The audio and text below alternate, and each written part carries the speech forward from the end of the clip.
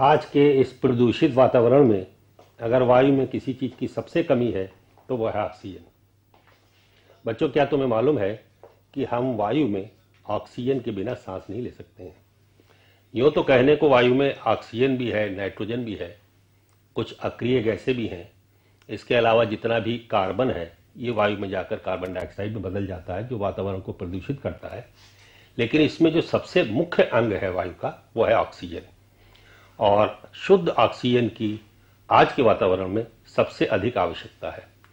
तो बच्चों, इस कार्यक्रम के माध्यम से हम आज तुमको ऑक्सीजन ये कहाँ कहाँ उपस्थित होती है, ये प्राप्ति स्थान इसके क्या है, कैसे इसे बनाएँ, और इसके भौतिक और गुणों का और रासायनिक गुणों का कैसे अध्ययन करें, इसके बारे में हम बताने जा रहे हैं। इसकी उपस्थित वायुमंडल में स्वतंत्र अवस्था में वायु के आयतन का एक बटा पाँच भाग है। यानी वायु में जितनी भी गैसें हैं, उसका अगर आयतन स्वरूप हम भाग लें तो वायुमंडल में ये स्वतंत्र अवस्था में वायु के आयतन का कितना भाग है? एक बटा पाँच भाग है। ये वायु में इसकी उपस्थित है और अति आवश्यक है वायु में इसकी उपस्थिति, वरना हम वायु में सांस नहीं ले पाएँगे। इसकी प्राप्ति, हम इसको कैसे प्राप्त करें? इसके लिए ये संयुक्त अवस्था में पाई जाती है, ऑक्साइडों के रूप में कार्बोनेटों के रूप में, सल्फेटों आदि लवण के रूप में पाई जाती है। यानी स्वतंत्र अवस्था में वायु में तो ये विद्यमान है ही, लेकिन संयुक्त अवस्था में इसके ऑक्साइड मिलते हैं, इसके कार्बोनेट मिलते हैं, इसके सल्फेट मिलते हैं। इन लवणों के रूप में ये प्राप्त की जा सकती है। अब प्राप्ति के बाद हम इसकी रासायन के भाषा में हम ये देखें कि इसका प्रतीक क्या है, इसका अणुसूत्र क्या है, परमाणु भार क्या है। तो प्रतीक है इसका ओ। अगर हमें कहीं पे प्रतीक क्या होता है? छोटी भाषा में रासायन के किसी शब्द को लिखना। तो अगर हम कहीं ओ लिख देंगे तो हमें ये समझ में आ जाएगा कि ऑक्सीजन का परमाणु है। इसी तरीके से हमें अगर इसको गैस के रूप में लिखना होता है तो हम इसको अणु सूत्र के रूप में लिखते हैं, और इसका अणु सूत्र है O2 इसका मतलब यह हुआ कि ऑक्सीजन के दो परमाणु मिलकर इसका एक अणु बनाते हैं, जिसको हम O2 कहते हैं। इसका परमाणु भार 16 है, संयोजकता इसकी दो है, अणु भार इसका 32 है, क्योंकि ऑक्सीजन का परमाणु भार 16 होता है, लिखा है परमाणु भार 16 और इसके अणु में दो ऑक्सीजन परमाणु हैं, और अणु भार कहते हैं अणुओं के भार को। तो चूँकि दो ऑक्सीजन परमाणु इसलिए 16 दूनी कितना हो गया? 32 हो गया। इसका परमाणु क्रमांक आठ है, यानी इसकी जो आवर्त सारणी में स्थित है, वो आठवें स्थान पर है, क्योंकि इसका परमाणु क्रमांक आठ है। अगर हम इसको बनाए बनाए प्रयोगशाला में तो किन किन चीज़ों की हमको आवश्यकता पड़ेगी? इसके लिए आवश्यक है कठोर कांच की परख नली, एक निकास नली, जल में भरी द्रोणिका सछिद्र आसन, यानी जिस पर हम गर्म कर रहे हैं कठोर कांच की नली को, वो उसके नीचे एक तार की जाली होना चाहिए, उसको हम कहते हैं सछिद्र आसन। गैस जार जिसमें हम गैस को एकत्र करेंगे। पोटेशियम क्लोरेट जो रसायन है जिसके द्वारा हम ऑक्सीजन को उत्पन्न करेंगे। और मैग्नीज डाइऑक्साइड एक और यौगिक है, जो यहाँ पर उत्प्रेरक का काम करता है। हम बच्चों, तुमको यहाँ बता दें कि उत्प्रेरक रासायनिक क्रिया में भाग नहीं लेता, लेकिन वो किसी रासायनिक अभिक्रिया की गति को परिवर्तित कर सकता है। इस यहाँ ऑक्सीजन बनाने में ये मैग्नीज डाइऑक्साइड इस अभिक्रिया की गति को बढ़ा देता है, जिससे हमें जल्दी और तेज़ी से ऑक्सीजन गैस प्राप्त होती है। आवश्यक सामग्री के बाद जिस उपकरण को हम सुसज्जित करते हैं, वो इस प्रकार का होता है। कठोर कांच के नली को एक स्टैंड पे टेढ़ा लगाते हैं।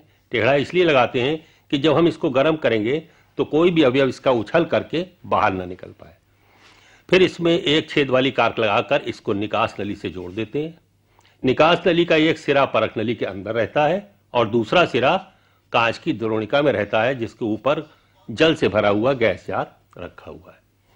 अभिक्रिया क्या होती है? जब हम इसको और परख नली को गर्म करते हैं तो उससे पहले हम परख नली के अंदर जो रासायनिक अभिक्रमक है, जिससे हम ऑक्सीजन गैस बनाएँगे, जो पोटेशियम, क्लोरेट और मैग्नीज डाइऑक्साइड है, इसको परख नली के अंदर डाल देते हैं।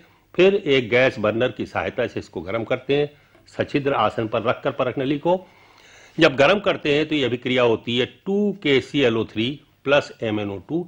M N two को बड़े ब्रैकेट के अंदर इसलिए लिख दिया है कोष्टक में, बड़े कोष्टक में इसलिए लिख दिया है कि ये जैसा अभिक्रिया में रहेगा, वैसा ही बाद में बचा रहेगा, क्योंकि उत्प्रेरक है, ये रासायनिक अभिक्रिया में भाग नहीं लेता, इसका कोई यौगिक नहीं बनेगा। तो two K C L O three plus M N O two जब गर्म करते हैं तो किस ताप तक गर्म करते हैं? 250 डिग्री सेंटीग्रेड पर। नीचे इसमें लिखा हुआ है मैग्नीज डाइऑक्साइड उत्प्रेरक। यहाँ बता दिया गया है कि ये जो मैग्नीज डाइऑक्साइड इस्तेमाल किया जा रहा है, ये उत्प्रेरक के रूप में है। ये रासायनिक अभिक्रिया में भाग नहीं लेता, केवल रासायनिक अभिक्रिया की गति को बढ़ा देता है। वास्तव में के थ्री का गठन होता है, जो के और थ्री में टूट जाता है। ऑक्सीजन के बगल में ऊपर तीर इसलिए बना है कि ये गैस है, ये ऊपर की ओर उड़ती है, परख नली से बाहर आती है और जल के अधोमुखी विस्थापन से। जैसे जैसे ये गैस ऊपर भरती जाती है, पानी नीचे आता जाता है। जब सारा पानी गैस का नीचे उतर जाता है तो हम समझ जाते हैं कि गैस जार में ऑक्सीजन भर गई। ये इसलिए किया जाता है क्योंकि गैस अदृश्य होती है, हम ऐसे जान नहीं पाएँगे कि कब ये गैस जार पूरा पूरा ऑक्सीजन से भर गया है।